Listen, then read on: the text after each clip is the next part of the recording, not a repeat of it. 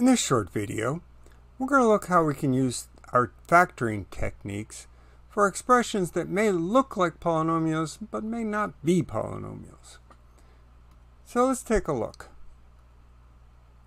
Here we have an expression. It has three terms, so it kind of looks like a trinomial, but these are not powers of x, uh, and so it's not a polynomial. We have fractional powers here. But we can look at it as if it were a polynomial, because x to the 2 thirds power is the same as x to the 1 third power squared. Remember the properties of exponents that if you have a power raised to an exponent, you can multiply the exponents. So 1 third times 2 would give me 2 thirds. And then minus x to the 1 third minus 6. So this looks like a uh, simple trinomial. And so I would have 2 sets of parentheses. It'll be a product of two binomials, which comes from a FOIL type operation.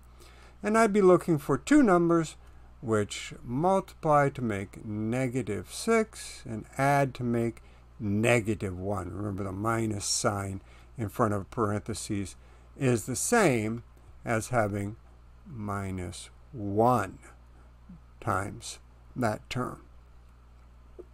And the two numbers that I'm looking for then would be negative 3 and positive 2. So I can factor this expression as x to the 1 third minus 3 times x to the 1 third plus 2.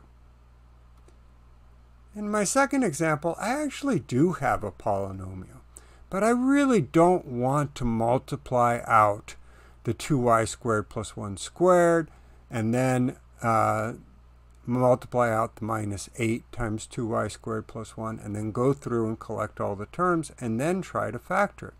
I don't have to do that.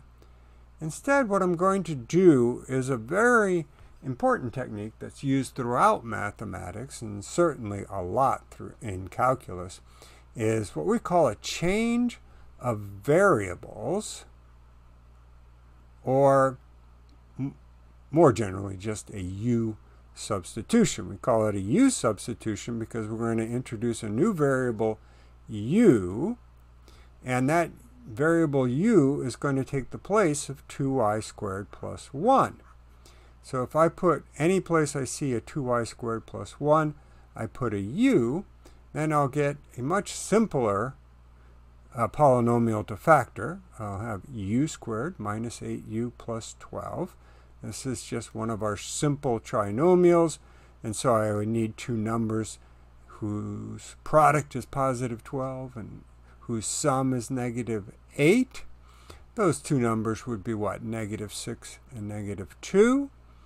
And so now I've got the u polynomial factored, but I want to always go back to the original variable, right? So I'm going to replace u now with 2y squared plus 1.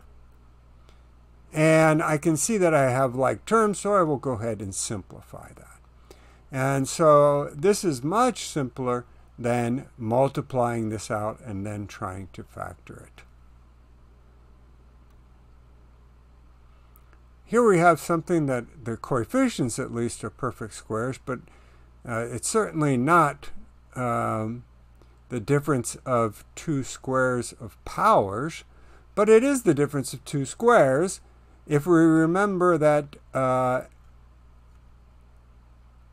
m raised to the power of 12 over 5 is the same as taking m raised to the power of 6 over 5 and squaring it, right? 6 over 5 times 2 would give me 12 over 5.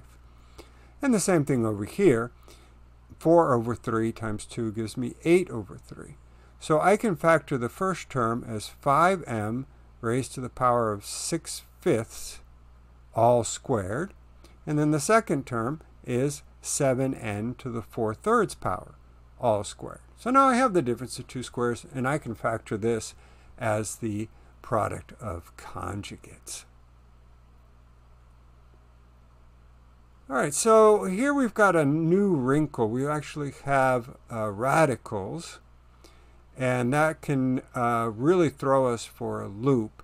But it helps if we start out, so we don't have a polynomial, but if I start out by rewriting it in terms of fractional exponents, that's going to help me. And then the next step would be to remember that y to the 1 half power is the same as taking y to the 1 fourth power and squaring it.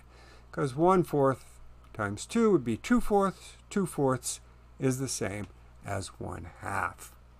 And so now I'll go ahead and make a u substitution. I don't really necessarily have to make a u substitution. I could work with it with the y to the 1 fourth, but it just makes it simpler to write out if I replace y to the 1 fourth with the new variable u. So I'll have 6u squared minus 5u minus 6. I could use trial and error, but I'm going to go ahead and use grouping. I'm going to rewrite this as four terms. I have 6 times negative 6, so I need two numbers which multiply to make negative 36, add to make negative 5. And uh, those numbers would be what? Negative, uh, 9 and positive 4. So I rewrite the minus 5u or negative 5u is negative 9u and positive 4u. I'll group them, the first two together, the second two together. Common factor in the first two is 3u. Common factor in the second two is 2. So one binomial is 2 minus 3. The other one will be 3u plus 2. But I don't leave it in terms of u. I'm not done yet. I'm going to go back and write it in terms of the original variable y. I don't have to change the y to the 1 fourth back to the fourth root unless I want to. So, in summary, we can make a u substitution uh, to make a change of variables and take something that is either a very complicated polynomial or something that's not a polynomial at all, make it look like a polynomial, and still be able to factor it.